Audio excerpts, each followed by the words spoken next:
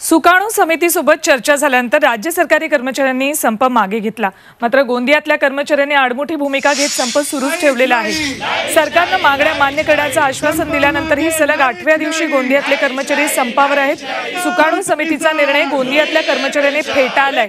अनेक सरकारी कार्यालयांमध्ये अजूनही शुकशुकाट आहे. निषेध असो निषेध असो. सुकाणू समितीच्या निर्णयाच्या जो निर्णय झाला सुकाणू समितीचा तो निर्णय गोंदिया जिल्ह्यांनी फेटाळलेला आहे. गोंदिया जिल्ह्याला तो निर्णय मान्य नाही. कारण आपण तीन महिन्यापासून त्या शासनाला नोटीस दिलेली होती तेव्हापासून की आपला संप जुन्या पेन्शनसाठी आहे.